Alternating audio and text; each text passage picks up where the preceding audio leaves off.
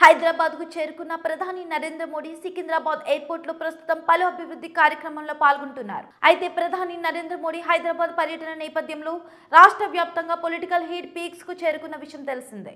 ఈ క్రమంలో ప్రధాని నరేంద్ర మోడీని ఎయిర్పోర్ట్ స్వాగతించడానికి వెళ్ళిన బీజేపీ రాష్ట్ర అధ్యక్షుడు బండి సంజయ్ ప్రధాని మోడీకి రెండు చేతులతో నమస్కరించి గ్రాండ్గా వెల్కమ్ చెప్పారు. ప్రోటోకాల్ ప్రకారంగా గవర్నర్ తమిళసై నరేంద్ర మోడీని స్వాగతించగా బీజేపీ ఎంపీలు రాష్ట్ర ముఖ్య నేతలు అందరూ ఆయనకు స్వాగతం తెలిపారు. అయితే ఈ సమయంలో బండి సంజయ్ చేతులు పట్టుకుని ప్రధాని మోదీ నవ్వుతూ అభినందిస్తున్న ఫోటో ప్రస్తుతం సోషల్ మీడియాలో వైరల్గా మారింది. ఇక ఈ ఫోటోను బండి సంజయ్ తన ట్విట్టర్ ఖాతాలో ట్వీట్ చేశారు. అంతేకాదు ప్రధాని నరేంద్ర మోడీకి స్వాగతం పలకడం ఆనందంగా ఉందని తెలంగాణలో పదకొండు వేల మూడు వందల కోట్ల విలువైన అభివృద్ధి కార్యక్రమాల బహుమతితో ఆయన వచ్చారని పేర్కొన్నారు. ఇక ఇదే ఫోటోలో కేంద్ర మంత్రి కిషన్ రెడ్డి రాష్ట్ర మంత్రి తలసాని శ్రీనివాస్ యాదవ్ ఎంపీ లక్ష్మణ్ కూడా నవ్వుతూ కనిపించారు.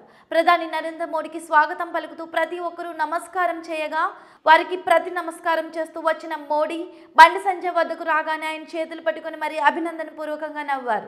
ఇటీవల రాష్ట్రంలో పదవ తరగతి ప్రశ్నాపత్రాల లీకేజీ కేసులో బండి సంజయ్ అరెస్టుతో చోటు చేసుకున్న పరిణామాల నేపథ్యంలో ప్రధాని నరేంద్ర మోదీ బండి సంజయ్ చేతులు పట్టుకుని మీకు మేమున్నామంటూ భరోసా ఇచ్చినట్టుగా ఆ ఫోటో ఉందని బీజేపీ శ్రేణులు భావిస్తున్నాయి. పదో తరగతి ప్రశ్నాపత్రం లీకేజీ కేసులో బండి సంజయ్ అరెస్ట్ తర్వాత ప్రధాని నరేంద్ర మోడీ కూడా ఈ విషయంపై ఆరా తీశారు. ఆ తర్వాత రెండు రోజుల పాటు జరిగిన పరిణామాలు ఇక తాజాగా బండి సంజయ్కు బెయిల్ లభించిన నేపథ్యంలో ఆయన ప్రధాని నరేంద్ర మోడీకి స్వాగతం పలకడానికి ఎయిర్పోర్ట్కి వెళ్ళారు ఈ క్రమంలోనే ఈ ఆసక్తికరమైన సన్నివేశం చోటు చేసుకుంది. ఇలాంటి మరిన్ని అప్డేట్స్ కోసం టాట్ న్యూస్ని సబ్స్క్రైబ్ చేసుకోండి. Thanks for watching.